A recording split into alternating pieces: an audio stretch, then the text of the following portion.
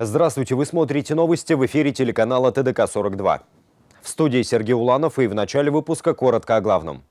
Несмотря на рост цен на продукты питания, в правительстве не рассматривают вопрос повышения минимального прожиточного минимума. Об этом сообщил министр нацэкономики. К 30-летию независимости в Казахстане проведут амнистию заключенных. Мажилис одобрил соответствующий законопроект. Сколько человек выпустят на свободу?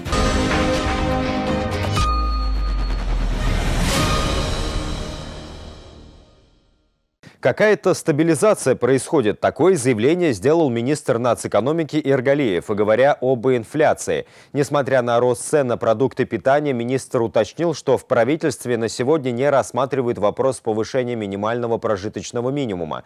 Казахстан – открытая маленькая экономика, и вопросы, связанные с глобальными трендами, в обход нас не проходят, заявил чиновник. В кулуарах Мажилиса журналисты спросили его, сколько денег он сам тратит на продукты. Ну, сколько вы в день тратите на еду, все-таки не сказали?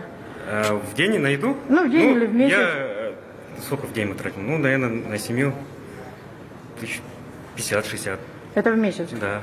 Наша страна до сих пор не в состоянии обеспечить собственную продовольственную безопасность. Казахстанский бизнес тратит баснословные деньги на то, чтобы закупить за границей элементарные продукты. Мы не говорим о 20 видах колбасы или 30 сортах пива. Речь идет о самых простых и сырых продуктах. В среднем мы завозим продукции на 3,5 миллиарда долларов. 2 миллиарда из которых по тем позициям, по которым сами можем полностью покрыть свои потребности, уверены эксперты. Причин несколько не построено достаточного количества оптово-распределительных центров, ОРЦ, где наши аграрии могли бы круглогодично хранить свою продукцию, постепенно снабжая ею наших ритейлеров по разумным ценам. Поэтому урожай у фермера за бесценок с поля забирают серые дилеры и везут его продукцию с высокой маржой на базары. Кусачие цены пугают простой народ, но министр полагает, что какая-то стабилизация происходит. Ну, у нас сейчас инфляция за 10 месяцев составила 8,9% за 9 месяцев также 8,9%. То есть какой-то какой мы видим, да, какая-то стабилизация. Я пока не хочу э, быть голословным, там, что-то прогнозировать, но э, какая-то стабилизация происходит. Ну, Казахстан открытая маленькая экономика, и вопросы, связанные э, с глобальными трендами, они в обход нас не проходят. Э, я не говорю, что э, Казахстан э, один в этих процессах, да, есть, мы видим во всех странах. Э, это связано с чем? Это связано с тем, что происходит восстановление спроса. По мнению министра, продовольственная инфляция в мире составила порядка 32%, и это одна из причин роста цен в Казахстане. Причем растут цены не только на еду, но и на бензин. Чиновники говорят, что они могут повлиять на цены, но ненадолго. На товарных биржах мы не даем цене в день расти больше 2%. В случае роста цен, допустим, вот когда э, в июне месяце цена на бензин начала расти, мы просто остановили торговлю остановили торговлю для того, чтобы рынок успокоить. Это такой стандартный инструмент, который используется в биржевой торговле. По мнению экспертов, величина прожиточного минимума в Казахстане занижена практически в 2-3 раза. Но министр сказал, что этот показатель они менять не будут. По мнению финансистов, низкие зарплаты приводят к появлению такой категории людей, как работающие бедные. Получается, что люди работают за еду. 2 миллиона казахстанцев сейчас живут за чертой бедности. Это официальная информация, складывающаяся из числа заявок по поданных на получение адресной соцпомощи. Но согласно стандартам ООН, к проживающим за порогом бедности нужно относить тех людей, которые тратят до 5 долларов в день. Тогда бедных в Казахстане станет еще больше. Бауржан Шаяхмед, Ахмедер Ильясов, столичное бюро ТДК-42. К 30-летию независимости в Казахстане проведут амнистию заключенных. Мажилис одобрил соответствующий законопроект. Документ позволит освободить осужденных за совершение преступлений, не э, несущих серьезную угрозу безопасности общества и государства. Помимо освобождения, амнистия предполагает сокращение неотбытой части наказания лицам, содержащимся в уголовной исполнительной системе. Раньше в Казахстане давать максимальные сроки считалось нормальным. Сажали больше, чем выпускали. Но для разгрузки колоний периодически проводили амнистии. За 20 лет проведено 8 амнистий, то есть каждые 2,5 года. Но через год-два колонии вновь переполнялись. Правда, Уголовный кодекс позволяет заключенному выйти на УДО. Для этого есть ряд условий. Отбыть в местах лишения свободы определенное время. К примеру, если тяжелые преступления, как минимум полсрока. Погасить ущерб потерпевшему и доказать свое исправление. Однако на деле по УДО освобождали крайне редко. Новый УК изменил практику. Если заключенный отбыл определенный срок, вел себя хорошо, режим не нарушал, ущерб загладил, то суд теперь обязан его выпустить. То есть свободу он заслуживает лично сам. Но амнистия – это освобождение оптом, без личной оценки каждого, говорят правозащитники. Это привело к тому, что отбывающие наказание уже не считают ее гуманным жестом власти и вместо исправления ждут юбилейные даты. Но даже амнистия положена не всем. В статье 78 Уголовного кодекса определен перечень, перечень статей, которые, которым не применяется амнистия. Там указано, не применяется амнистия, совершившие преступление против половой неприкосновенности, против совершивших экстремистские террористические преступления при особо отставном рецидиве. Тяжкие, особо тяжкие преступления. Здесь не разделяется по категориям, это коррупционер или обычный человек. Там идет по э, тяжести. Есть у нас проступок уголовный, менее тяжкий, средний тяжкий, осо, тяжкие, особо тяжкие преступления. То есть она идет по э, тяжести преступления. Сколько же человек охватят амнистией? В местах не столь отдаленных сейчас находится 34 тысячи человек. Амнистия будет применяться в отношении ветеранов, несовершеннолетних, пожилых, а также инвалидов, не представляющих угрозу для общества. Согласно проекту амнистии будут охвачены 2236 подсудимых. Однако журналистов интересовал вопрос, смогут ли выйти по амнистии коррупционеры. Последними поправками им запрещено выходить на УДО, но они пишут письма и просят выпустить их по амнистии. В отношении, скажем, должностных преступлений есть дополнительный вид наказания, которым будет запрещено заниматься, занимать государственные должности. То есть подчеркивается специальный субъект, подчеркивается ограничением после отбытия наказания заниматься определенной деятельностью. Как говорят правозащитники, прежде чем проводить амнистии, нужно подумать о социализации бывших зэков, потому что немало сидельцев возвращаются снова в колонии и становятся рецидивистами. Причина банальная. На воле никто не берет на работу человека с криминальным прошлым. Около 80% бывших зэков не могут трудоустроиться. Все работодатели сейчас требуют справку об отсутствии судимости. Как только видят судимость, никто не берет на работу даже самую грязную. Бауржан Шаяхмед, Ахмедяр Ильясов, столичное бюро ТДК-42. Комитет государственных доходов разработал новое приложение для бизнеса, которое э, представила нашим коллегам. ЕСАЛЫК Бизнес доступно на мобильных платформах и помогает предпринимателям не только узнавать новости, сумму налога, но и вести свой бизнес. Приложение ЕСАЛЫК Бизнес несложное и времени много не отнимает. Все, что нужно, так это скачать и установить на телефон. Меню простое и удобное в использовании, тут возможно выдача разных справок, переброски по счетам и так далее. К тому же приложение интегрировано с банками, так что можно, не выходя из офиса или дома, оплатить налоги. Тут же можно прекратить свою деятельность, либо приостановить. В настоящий момент э, данное мобильное приложение проходит э, пилотное тестирование в двух регионах, в Акмулинской области и в Жамбыльской области. Э, сейчас уже порядка трех с половиной тысяч э, предпринимателей э, зарегистрировались и используют э, данное мобильное приложение. И мы думаем, предполагаем, уже со следующего года уже в полном режиме будет данное мобильное приложение работать. В период пандемии бизнесу дали налоговые льготы. Эта мера охватила более миллиона представителей микро и малого бизнеса. Введен специальный режим розничного налога со ставкой 3% от полученного дохода. И другая поддержка, но это не повод нарушать, говорят в комитете. Если действительно вам чек не дали, какие-то права потребителей нарушили, вы можете это зафиксировать через специальное мобильное приложение YPON и к нам обратиться, и нами будет дистанционно рассмотрена ответственность без выхода на проверку. То есть, получается, мы э, цифровым решением, получается, без, не нарушая мораторий, можем осуществлять э, определенный контроль. Если там будет достаточно оснований юридических и правильно материалы оформлены, соответствующие административные санкции будут э, в отношении таких предпринимателей будут приняты. Но что касается физических лиц, то в Комитете госдоходов напоминают, платить налоги нужно вовремя. Напомним, что 1 октября 2021 года истек срок уплаты налога на имущество физических лиц за 2020 год. И на сегодняшний день более 1 миллиона граждан имеют задолженность по налогу на имущество на сумму более 3,4 миллиарда тенге. В случае неисполнения уведомления и непогашения задолженности после 15 ноября 2021 года органами государственных доходов будут формироваться налоговые приказы о взыскании налоговой задолженности с дальнейшим направлением частным судебным исполнителям для принудительного исполнения. В избежание ареста банковских счетов, наложения ограничений на имущество и на выезд частными судебными исполнителями убедительно просим граждан, не уплативших налог на имущество за 2020 год, погасить налоговую задолженность. Гульнара Умарова, Олег Писаренко, ТДК 42.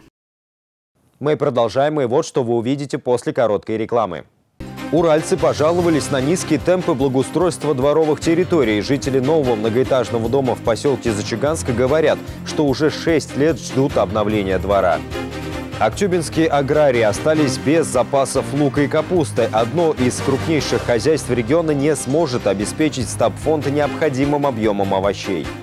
Качественные товары по доступным ценам на протяжении 29 лет. В честь дня рождения магазин электроники и бытовой техники «Мечта» увеличивает бонусы с покупки в два раза. Только по 7 ноября в «Мечте» действует двойной кэшбэк на весь товар. Также покупатели ждут каскадные скидки до 70% и беспроцентная рассрочка до 24 месяцев. В «Мечте» вы найдете все от мобильных телефонов и аксессуаров к ним до обогревателей и холодильных камер. В свой день рождения мы запускаем реальную выгоду в «Мечте».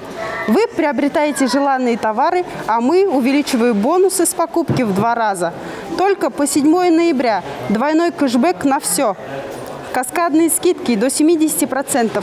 И это еще не все. Выгодная рассрочка до 24 месяцев. Без процентов, комиссий и переплат. Делайте правильный выбор. Покупайте технику выгодно в мечте. Приходите, мы будем рады вас видеть. Спешите сделать выгодную покупку. Магазин электроники и бытовой техники «Мечта» ждет вас по адресам. Город Уральск, улица Курмангаза, 69, в районе Центрального рынка, улица Сармадатова, 10, дробь 1, а также в городе Аксай, микрорайон 5А, дом 6А. Верхнюю одежду и обувь от белорусских производителей могут приобрести уральцы в преддверии нового зимнего сезона. На выставке продажи в ДК «Зенит» представлены изделия из натурального сырья. Товар поставляется напрямую от производителя без посредников, поэтому цены здесь значительно ниже. Здесь вы сможете найти свыше 400 видов женских и мужских курток и дубленок от 44 до 72 размера из города Владимира. Пуховики выполнены из таких наполнителей, как э, верблюд, биопух. Биопух для аллергиков очень подходит для тех людей, у которых какая-то проблемная кожа. Также дубленки из таких материалов, как мутон, очень высокого качества. Люди выбирают нас из-за хорошего качества и сниженных цен. Также представлен широкий ассортимент зимней, осенней и демисезонной мужской и женской обуви из Витебска от 35 до 49 размера. Вся обувь пошита из телячьей кожи на основе овчинного меха. Подошва изделия выполнена из качественного полиуретана на ортопедической основе, что позволяет продлить срок службы обуви и снизить нагрузку на позвоночник. Ассортимент обуви рассчитан на широкий круг покупателей. В наличии модели с высоким подъемом и широким голенищем. Обувь вся из натуральной кожи, овечьего меха. Мы специализируемся на обуви для проблемных ног, на широкое голенище, высокий подъем. Вся обувь выполнена на ортопедической основе. Подошва также идет противоскользящая. Опытные продавцы и консультанты помогут подобрать подходящий товар. Увидела эту ярмарку по рекламе, решила сюда прийти. Выбрала куртку себе, очень понравилась, подошла. Все очень качественно, по доступной цене. Спешите на выставку-продажу одежды и обуви от белорусских производителей. Успейте приобрести товар в Уральске до 7 ноября на втором этаже ДК «Зенит» с 10 до 19 часов без перерыва и выходных.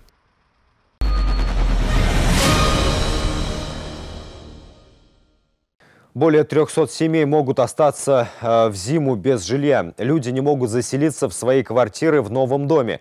Судебный спор между застройщиком и заводом по соседству еще не завершен. По решению суда в доме, построенном в санитарно-защитной зоне, предприятии жить нельзя. Что делать людям, которые заплатили за квартиры большие деньги, узнавали наши корреспонденты.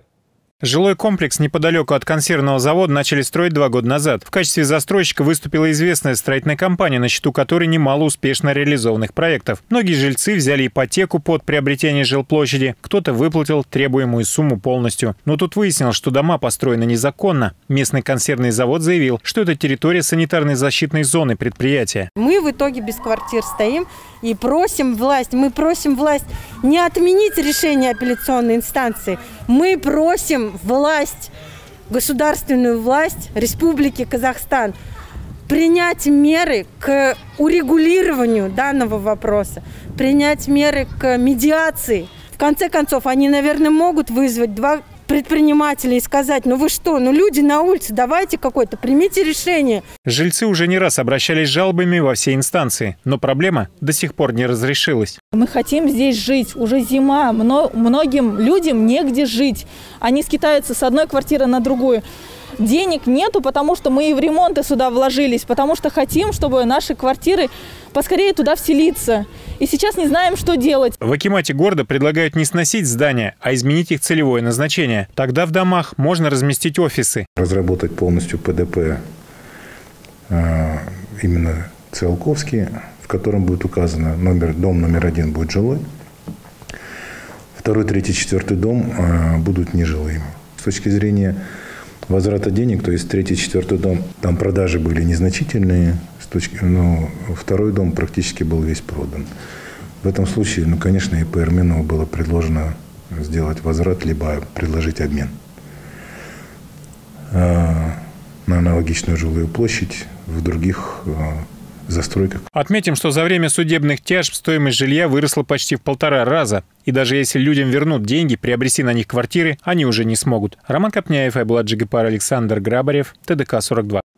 Закладчиков наркотиков задержали с поличным в Западно-Казахстанской области. Об этом сообщили в департаменте полиции. Вечером 1 ноября возле одного из частных домов поселка Мичурина района Байтерек в ходе проведения оперативно-профилактического мероприятия «Рефлекс» были задержаны 18-летняя девушка и 19-летний парень. Отметим, что закладка наркотиков производится для их бесконтактной реализации. Покупатель переводит продавцу деньги электронным способом, а тот ему сообщает о местонахождении нахождения наркотического средства.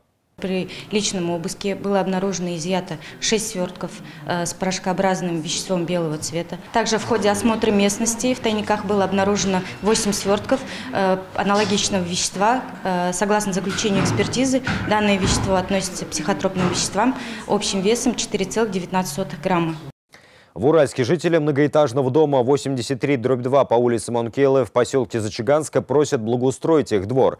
Люди переехали в новое здание уже 6 лет назад, но кроме деревянных песочниц и неудобных скамеек на территории двора ничего нет.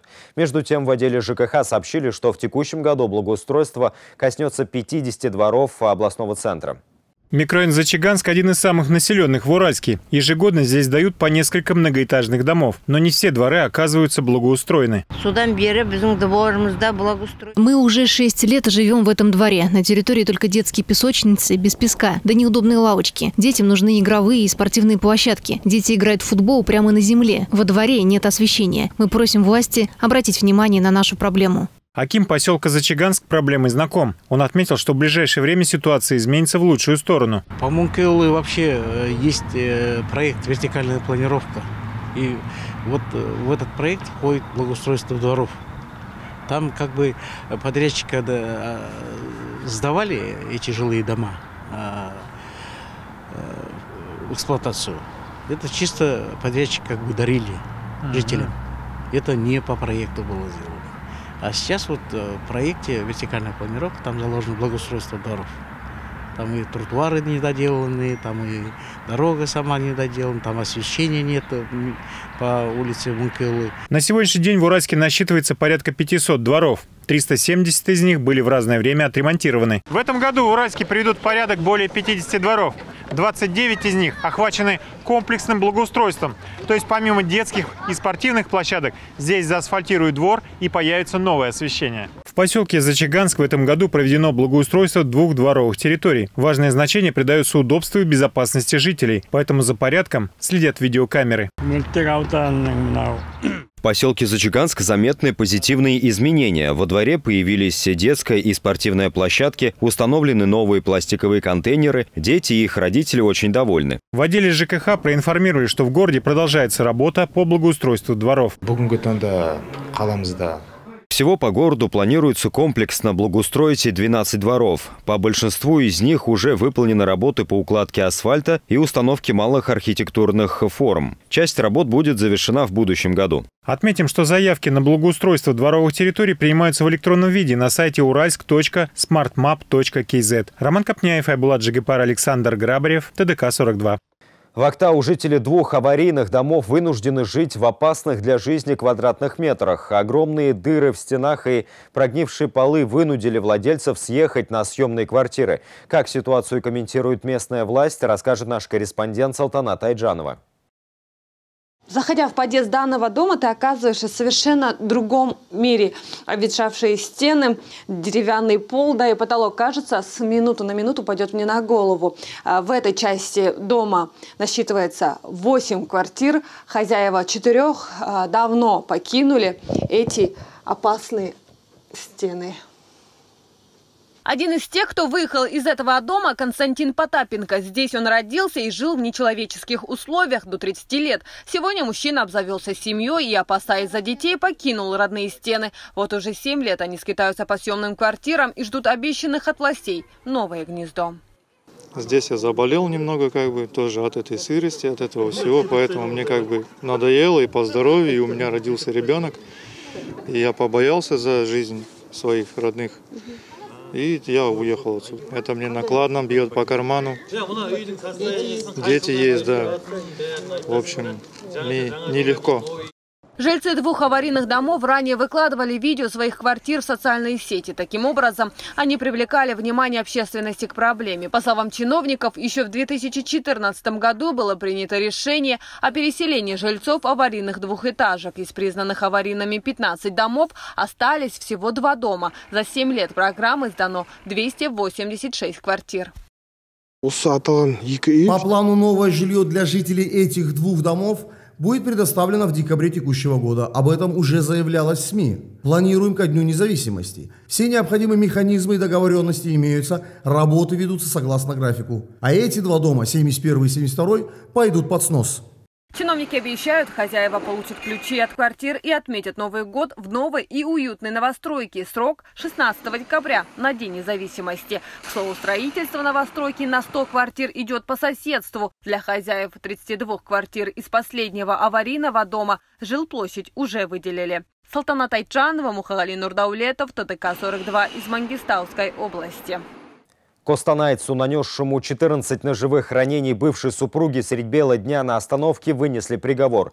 Его осудили на 11 лет лишения свободы. Шокирующее убийство произошло в центре города, практически напротив департамента полиции. Азамат Молдрахметов поджидал около работы бывшую супругу, с которой он в разводе около пяти лет. Завязалась ссора. Вблизи остановочного павильона на глазах у свидетелей мужчина достал кухонный нож и нанес множественные удары 33-летней Дарине Ахмадиевой. Ивановой. Она скончалась на месте, после чего напавший на нее бывший муж нанес ранение и себе. По материалам дела мужчина не давал покоя экс-супруге и постоянно ее преследовал. Судебный процесс проходил с участием сурдопереводчика, так как подсудимый глухонемой, как и погибшая Дарина. Ваши доводы о том, что вы не хотели убивать Ахмадиеву, вы не желали ей смерти, в суде опровергнуты прямым показаниями э, очевидцев, свидетелей, которые в суде показали, что в момент совершения преступления, когда вы заметили, что на помощь Ахмадиевой бегут они, то есть свидетели, вы стали более ускоренно наносить ей ножевые ранения, после чего она упала и скончалась на месте. Актюбинские аграрии остались без запасов лука и капусты. Одно из крупнейших хозяйств региона не сможет обеспечить стабфонд необходимым объемом овощей.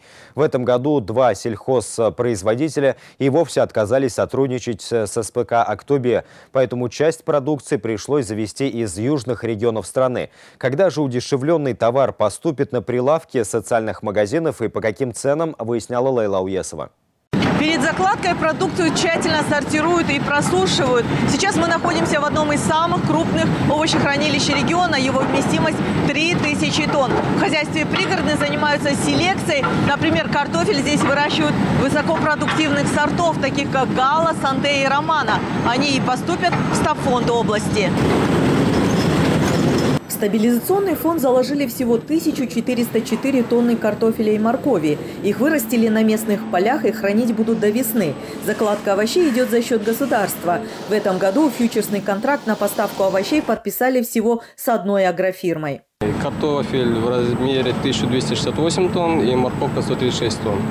В связи с погодными условиями, сами знаете, лето было жаркое, у пригородного был неурожай по луку и капусте.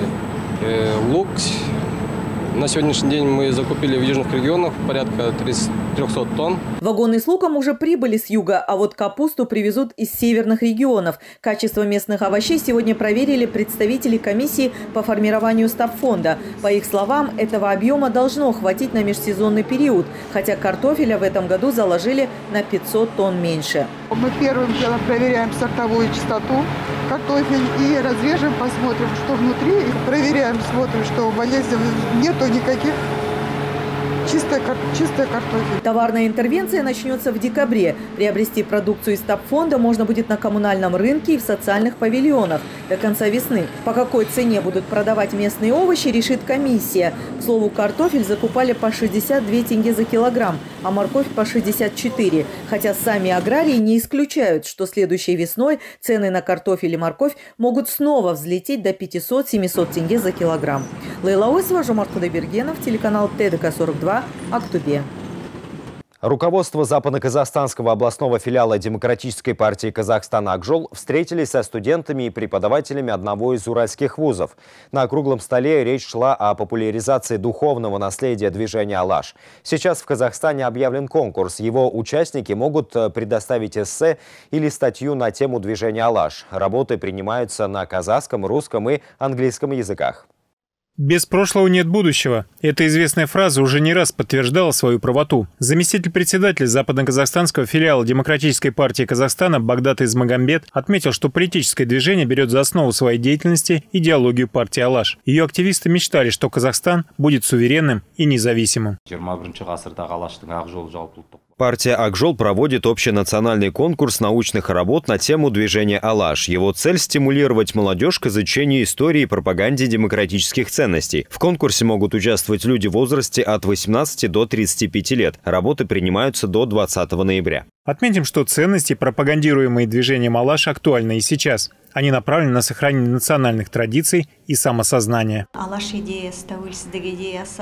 30-летию независимости Республики Казахстан в нашем университете создан научный центр «Алаш-Тану». Его главная цель – сформировать у студентов интерес к глубокому изучению истории. И подобные конкурсы улучшают их знания о прошлом нашего государства.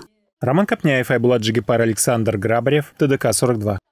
Уважаемые телезрители, это были все новости к этому часу. Смотрите нас в социальных сетях и на сайте tdk42.kz. Спасибо за внимание и до встречи в следующих выпусках.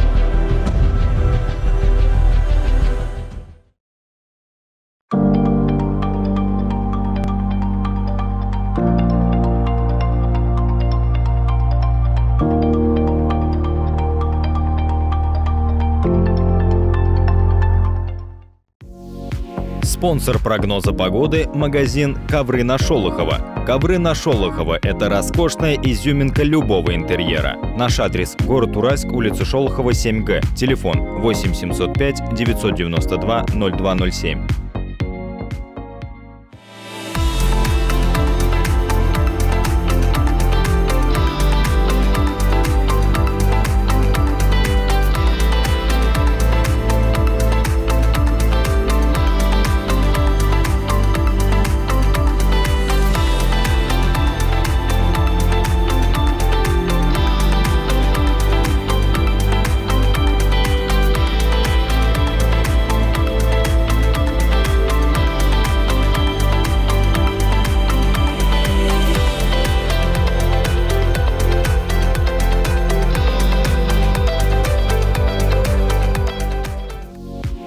Спонсор прогноза погоды – магазин «Ковры на Шолохова». «Ковры на Шолохова» – это роскошная изюминка любого интерьера. Наш адрес – город Уральск, улица Шолохова, 7Г. Телефон 8 705 992 0207.